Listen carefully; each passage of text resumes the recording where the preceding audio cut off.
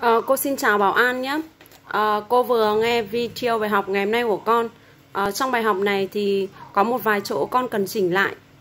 À, cái lỗi đầu tiên trong bài học này đó là con phần chỉnh từ này.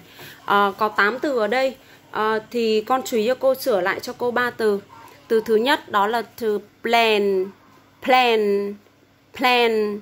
Từ thứ hai là mình sẽ chỉnh lại cho cô từ blocks, blocks, blocks à, từ tiếp theo là mình cần chỉnh lại cho cô từ car. Car. Car. Mình cong lưỡi lên với âm a dài nhá. À, tiếp theo này à, cái lỗi thứ hai ở trong phần uh, thực hành mẫu câu á thì mình cần chú ý cô mình không đọc là what toy mà là what toys.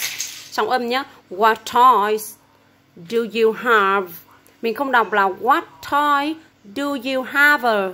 Mình chú ý cái từ have. Have have mình sẽ chỉ làm khẩu hình miệng của âm thôi nhá. Mình không đọc là have luôn. Tuy nhiên là ở phần phần dưới thì mình đọc uh, đọc là I have a Lego I have a ball thì cô đồng ý. Bởi vì cái này là con đã thêm mạo từ nhưng cô sẽ chỉnh lại cho con có khi con đọc, con cũng không biết là tại sao mình đọc là I have lại đúng đâu nhá.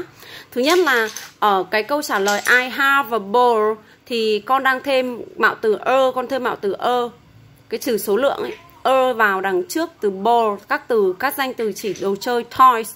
Thì mình sẽ chú ý cho cô là khi mà như thế mình sẽ cạo nối âm giữa từ have với từ ơ tạo để tạo thành have được chưa nhỉ Ờ, đó là một vài ờ, cái góp ý của cô trong bài ngày hôm nay của Bảo An. Bảo An sẽ chỉnh lại nhá.